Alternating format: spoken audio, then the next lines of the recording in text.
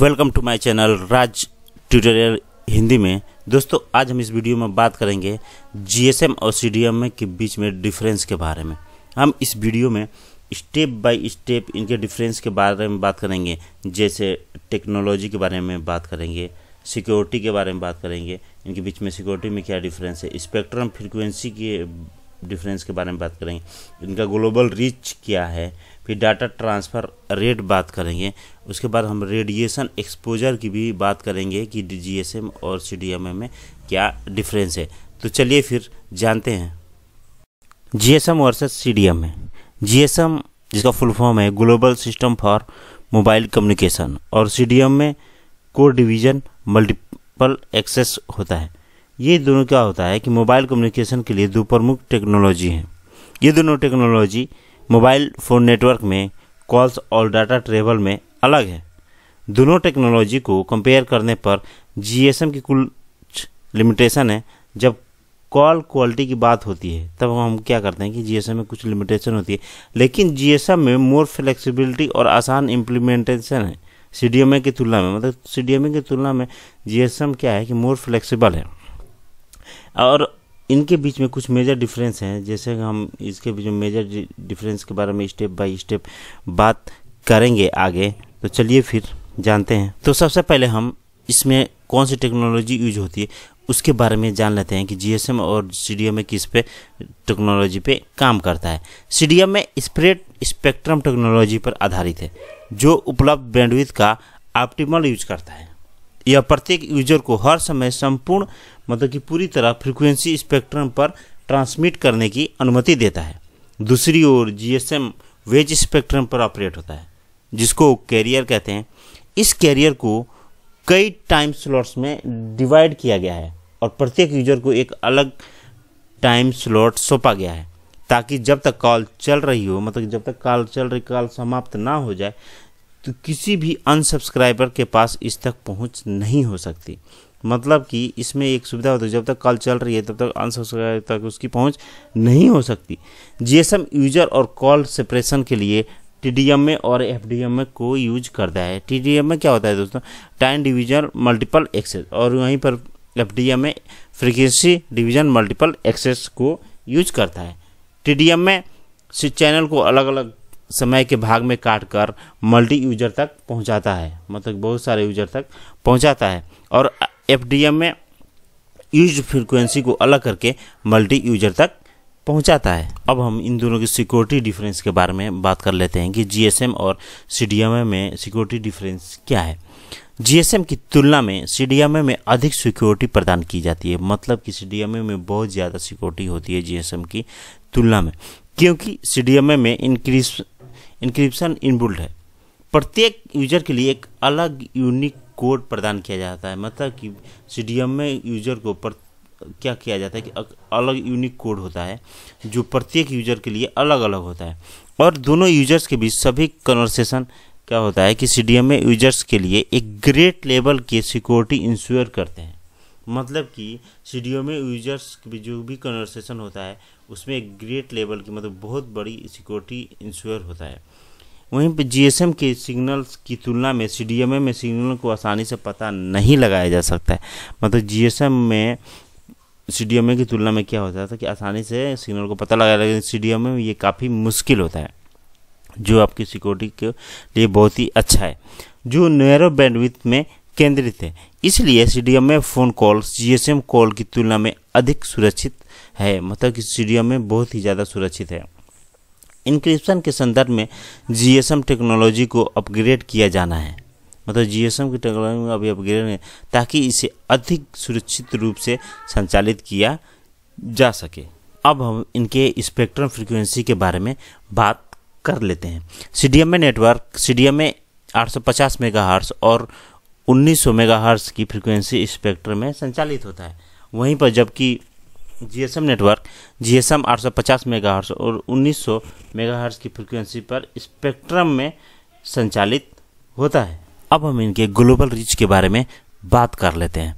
सी की तुलना में 210 से अधिक देशों में जीएसएम का यूज़ दुनिया के 80 परसेंट से अधिक मोबाइल नेटवर्क में होता है। मतलब कि दोस्तों सीडीएमए की तुलना में जीएसएम का यूज़ बहुत ही ज़्यादा होता है। मतलब कि 80 परसेंट क्या होता है कि जी एस एम का नेटवर्क है पूरी दुनिया में। पूरी दुनिया में 80 परसेंट से अधिक मोबाइल नेटवर्क केवल जी एस एम का है दोस्तों। सी डी एम में लगभग विशेष रूप से क्या होता है कि यूनाइटेड स्टेट और कनाडा और जापान के कुछ हिस्सों में ही उपयोग होता है। मतलब सी डी एम में क्या होता है कि एक विशेष कंट्रीज़ में ही उपयोग होता है। जबकि जीएसएम का यूज़ ब्रॉडली बहुत ही ज़्यादा है ग्लोबली बहुत ही ज़्यादा है। 80 परसेंट से ज़्यादा मोबाइल नेटवर्क केवल जीएसएम का है दोस्तों। जीएसएम एक इंटरनेशनल स्टैंडर्ड है। ये इंटरनेशनल स्टैंडर्ड से एक, एक और फ़ायदा है दोस्तों क्योंकि इसके लिए क्या होगा कि रोमिंग के लिए भी ये बहुत बेटर होगा सी की तुलना में। तो इसलिए जीएसएम इंटरनेशनल रोमिंग के लिए बेटर है। तो अब हम क्या करते हैं? देखिए जीएसएम क्या है कि जीएसएम 76 परसेंट और सी में ट्वेंटी परसेंट यूज़र द्वारा यूज़ किया जाता है। कि मतलब कि ग्लोबली क्या है कि जीएसएम का नेटवर्क बहुत ही ज़्यादा है। क्योंकि ये यूज़ करने में आसान होता है, इसका इम्प्लीमेंटेशन फ्लेक्सिबल है। इसलिए क्या होता है कि जीएसएम का यूज़ बहुत ही ग्लोबली बहुत ही ज़्यादा होता है। अब जीएसएम और सी में डाटा ट्रांसफ़र रेट कैसा है? ये भी देखते हैं, और कौन सी टेक्नोलॉजी यूज़ होती है, ये भी बात करेंगे। जीएसएम की तुलना में सी का डाटा ट्रांसफ़र रेट तेज है। मतलब कि सी में जो डाटा ट्रांसफ़र रेट है, वो बहुत ही ज़्यादा है। सी में E V D O data transfer technology use किया जाता है। ई वीडियो को काफ़ी अच्छा माना जाता है सी में डाटा ट्रांसफ़र के लिए। जो कि सी में यूज़ होता है, जबकि जीएसएम में EDGE data transfer technology use किया जाता है, जो कि सीडीएमए की तुलना में काफ़ी, ये कम क्या होता है कि तेज़ है ये डाटा ट्रांसफ़र करने में। इसलिए इसके अगर डाटा ट्रांसफ़र रेट की बात करें तो इसके हिसाब से हम क्या कह सकते हैं कि सी में जो है जीएसएम की तुलना में बेटर चॉइस होगा। अब हम इनके बारे में सबसे महत्वपूर्ण, जो लोगों के बीच में काफ़ी ज़्यादा बात होती है कि कौन सा नेटवर्क कितना नुकसानदेह है। तो आज हम इसके बारे में बात करेंगे, इनके बीच में क्या डिफरेंस है। रेडिएशन एक्सपोजर की बात करेंगे हम। जीएसएम और सी में कौन सा ज़्यादा रेडिएशन उत्पन्न करता है या कौन सा ज़्यादा खतरनाक है जीएसएम या सी में, वो बात करेंगे हम। तो रेडिएशन एक्सपोजर की बात करते हैं। जीएसएम क्या होता है कि GSM phone continuous wave pulses का उत्सर्जन करते हैं। कि मतलब कि ये कंटिन्यूस क्या करता है? कि विकिरण किरणें उत्पन्न करता है। इसलिए कंटिन्यूस वेव पल्सेस वाले सेलफोन पर फोकस इलेक्ट्रोमैग्नेटिक फ़ील्ड के लिए एक्सपोजर को कम करने की एक बड़ी आवश्यकता है। मतलब कि दोस्तों, आप सीधी भाषा में समझें जो जीएसएम क्या होता है कि वो ज़्यादा विकिरण उत्पन्न करता है, ज़्यादा रेडिएशन उत्पन्न करता है, जो कि काफ़ी नुकसानदेह है। दूसरी ओर सीडीएम में सेल फोन्स इन पल्सर्स का उत्सर्जन नहीं करते हैं। इसका मतलब सीधा है कि दोस्तों सीडीएम में फ़ोन ज़्यादा सेफ़ है रेडिएशन में की बात करते हैं क्योंकि रेडिएशन ज़्यादा नहीं होता है सी में से।